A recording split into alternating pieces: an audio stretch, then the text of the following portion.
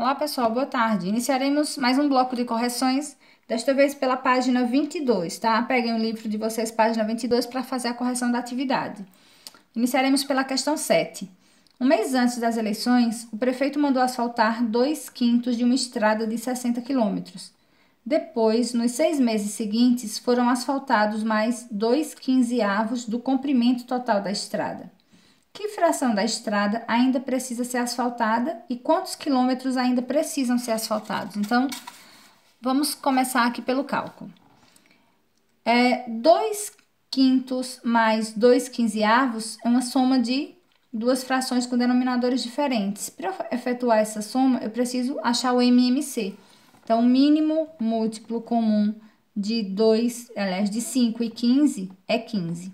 15 é o novo denominador divide pelo número de baixo, multiplica pelo número de cima. Então, eu tenho 15 dividido por 5 dá 3, vezes 2, 6, mais 15 dividido por 15 dá 1, 1 vezes 2 é 2. E soma 6 mais 2, 8, repete o 15. Isso é a quantidade que já foi asfaltada. Agora, vamos ver quantos, qual a fração que falta asfaltar. A pista inteira corresponde a 15 quinzeavos, que é um inteiro.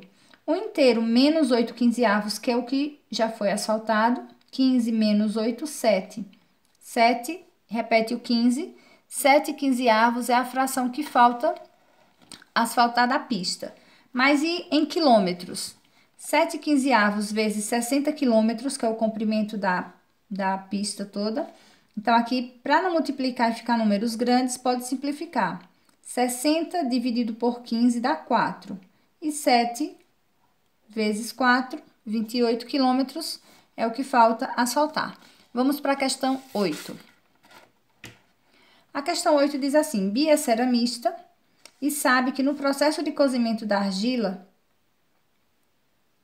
no processo de cozimento, a argila sofre contração, ou seja, ela diminui o tamanho.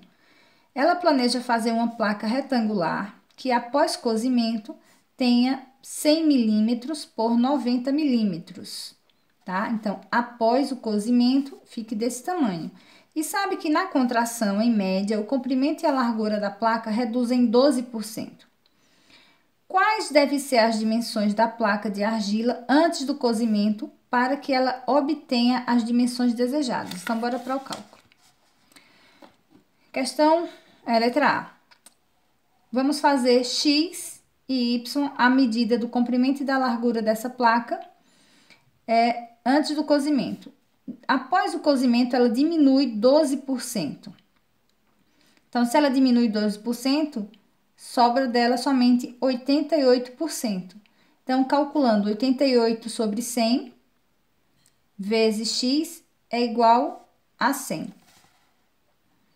Então, 88%, tá? 88% vezes x, vou calcular 88% desse valor e 88% desse valor, do valor de x e do valor de y. Então, vamos lá. 88% é 88 sobre 100 vezes x, que dá igual a 100 milímetros.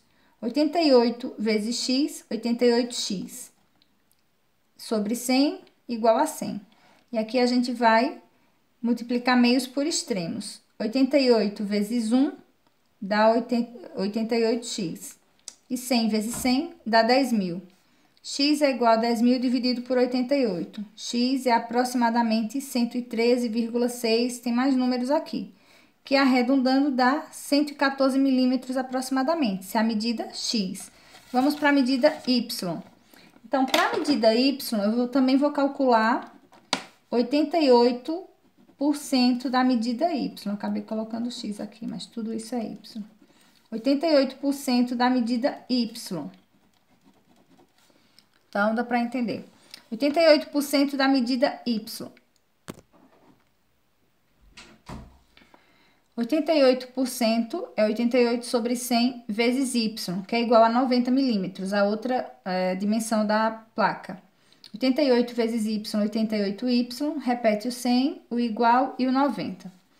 88Y, é, o 88 que está multiplicando vai passar para cá dividindo, fica Y igual a 9.000 dividido por 88, que dá aproximadamente 102,2, que arredondando 102 milímetros, tá? Então, essa é a dimensão. Agora, na letra B. Compare as áreas da placa antes e depois do cozimento. Em qual porcentagem a área foi reduzida? Então, aqui, ó, área, vou ter que calcular a área para poder fazer a comparação. Então, vamos ver a área original. 114 da placa inteira, vezes 102, que são os valores que nós encontramos, dá 11.628 milímetros quadrados. Depois que ela reduz, depois do cozimento, ela fica 100 vezes 90. 100 vezes 90 dá 9.000 milímetros quadrados. Subtraindo a área original menos a área após o cozimento, o total é 2.628 metros, milímetros quadrados. E aqui eu tenho, para calcular o percentual, eu vou pegar o valor da área original, aliás, a divisão, né? Pelo valor da área original, tá? A subtração menos dividido pela área original. Subtração dividido pela área original. Esse dividido por esse dá 0,226, continua. Então, arredondando aqui, fica aproximadamente 23%. 23% de redução. Então, vamos à questão 9. Mesmo não sabendo o significado de certos termos, você pode resolver este problema. É, nas lâmpadas incandescentes, apenas 10% da energia elétrica são transformados em fluxo luminoso. Uma lâmpada incandescente de 40 watts ou watts, é, por, é, por exemplo, produz 600 lumens, enquanto uma fluorescente de 20 produz 1.600 lumens. Então, veja a diferença. Uma lâmpada incandescente, a claridade que ela possui, e a metade dos, dos watts é, de uma lâmpada que seja fluorescente ela clareia muito mais com menos potência, com isso, por isso que gasta menos energia. Mas a pergunta é: lumen é uma unidade de fluxo luminoso. Determine quanto por cento essa lâmpada fluorescente é mais rentável que a incandescente. Então vamos ao cálculo. Uma lâmpada de 40 watts é, incandescente, 600 lumens, tá? o mesmo tipo de lâmpada, se ela for de 20, ela só produz a metade, tá? 300. Então, com isso, eu posso comparar a produção de lumens de uma lâmpada incandescente, de uma lâmpada fluorescente, dividido pela quantidade de lumens de uma lâmpada é, incandescente, a fluorescente dividido pela incandescente, eu tenho 5,33. Para transformar isso em percentual, 5,33 aproximadamente vezes 100 dá 533% aproximadamente mais econômica de rentabilidade, tá? Então, essa é a questão 9. Vamos à questão 10. Essa questão 10 é para localizar os pontos abaixo. Então, a gente viu aqui, já no início, na explicação, como localizar. Então, coordenada do ponto A. O ponto A, aqui, ele é 2 e menos 5. Então, vamos ver o A. 2 de x menos 5 do y, ponto A. Ponto B, aqui, menos 1 e 2. Menos 1 do x e 2 do y, ponto B.